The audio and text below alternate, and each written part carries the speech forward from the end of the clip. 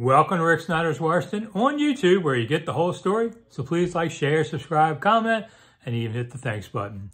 All right, where are you going on vacation this summer? Well, gambling.com did some rankings and it turns out Virginia is number one in the nation. Woo, Virginia.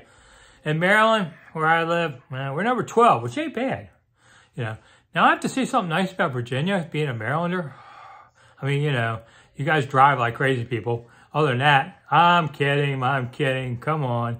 All right, Virginia's, hey, certainly a strong lineup. You got beaches, you got mountains, you got a big state. You know, you've got presidential homes. All right, it, you know, it's a solid state to go on vacation.